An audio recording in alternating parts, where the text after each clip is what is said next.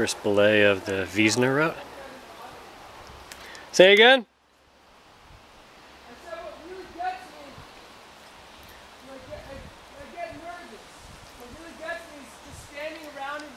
Oh yeah, all of us. And there's Alex. Hey, look up for the video, man.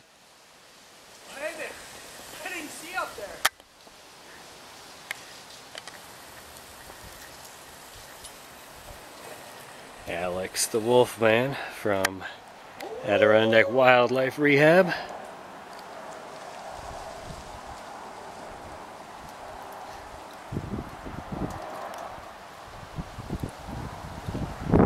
Nice autumn colors.